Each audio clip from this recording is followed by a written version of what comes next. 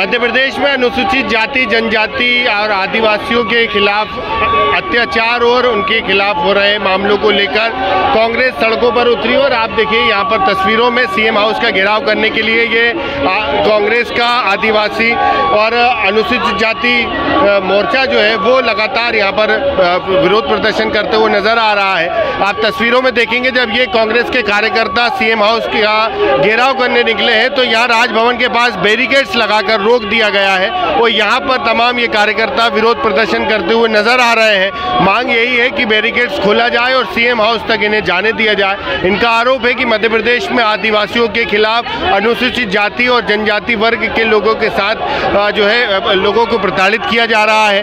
बात भी करने की यहाँ लोगों से कोशिश करेंगे। यहाँ पर प्रदेश के अलग अलग जिलों से ये लोग आए हुए हैं और विरोध प्रदर्शन कर रहे हैं। कहाँ से आए आप? रीवा रीवा से आए हैं। क्या मांगे आप लोग की क्यों प्रदर्शन कर रहे हैं? हम हम लोग मांग लेके आए हैं कि जो ये भाजपा की सरकार है ये दलितों के साथ जो लगातार अन्याय अत्याचार हर हर प्रदेश हर जगह हो रहा है उसके खिलाफ हम लोग मुख्यमंत्री जी का घेराव करने आए हैं जो पुलिस के द्वारा हम लोग को रोका जा रहा है और हम लोग अपनी बात रखने के लिए शांतिपूर्वक रखना चाहते लोग हैं? कहाँ से आए आप? क्या नाम आपका? भोपाल से बिना मालवी हूँ। अच्छा, क्या क्या क्या मांगे आप लोग की? क्यों प्रदर्शन? मोहन सरकार एस सी एस की बात नहीं सुन रही है और उन पर अत्याचार हो रहा है उसके विरोध में भी प्रदर्शन कर रहे हैं। देखिए तस्वीरों में यहाँ पर बैरिकेड्स लगाकर यहाँ पर रोका गया है पुलिस ने और जो कार्यकर्ता है कांग्रेस के, वो लगातार जो है बैरिकेड्स पर चढ़ने का प्रयास कर रहे हैं। आप तस्वीरों में देखेंगे, यहाँ पर बैरिकेड्स के ऊपर जो है अनुसूचित जाति, जनजाति जो कांग्रेस का विभाग है, उसके अध्यक्ष भी यहाँ पर बैरिकेड्स पर चढ़ गए हैं। पुलिस यहाँ पर उन्हें रोकने का प्रयास कर रही है और यहाँ पीछे देखेंगे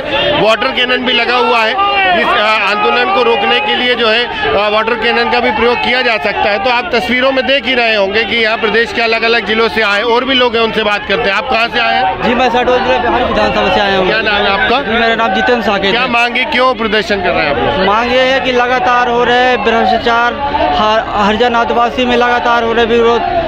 क्या कैसे हो रहा है? आप देख रहे हैं कि लगातार बलात्कार बढ़ रही है। शासन प्रशासन कोई सुन नहीं रहा है। पूर्व मंत्री पीसी शर्मा जी भी हैं। सर आप लोग सड़कों पर उतरे सीएम हाउस का घेराव करने जा रहे हैं। पुलिस ने बैरिकेड्स लगाकर रोका है। क्या दलित अत्याचार में एनसीईआरटी की रिपोर्ट में मोदी सरकार की रिपोर्ट में नंबर एक पे है मध्य प्रदेश।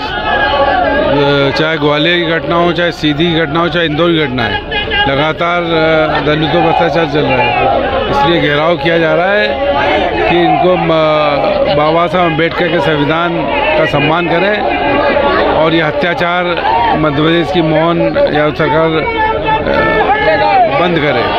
तो बिल्कुल कांग्रेस का आरोप है कि मध्य प्रदेश में आदिवासियों पर और अनुसूचित जाति, जनजाति वर्ग के लोगों पर अत्याचार लगातार बढ़ रहा है और सरकार कोई ठोस कदम नहीं उठा रही है। तो यहाँ पर आप देख रहे होंगे कि बैरिकेड्स पर चलकर लगातार विरोध प्रदर्शन किया जा रहा है और सीएम हाउस की ओर जाने की मांग की जा रही है, लेकिन पुलिस ने बैरिकेड्स लगाकर इन सभी को यहाँ रोक दिया है और यहाँ पर ही जो है, जो कांग्रेसी हैं, जो प्रदर्शन कर रहे हैं, उनका ज्ञापन यहीं पर लिया जाएगा जो उनकी बात बात है, जो उनकी मांग है, वो सरकार तक पहुंचाई जाएगी।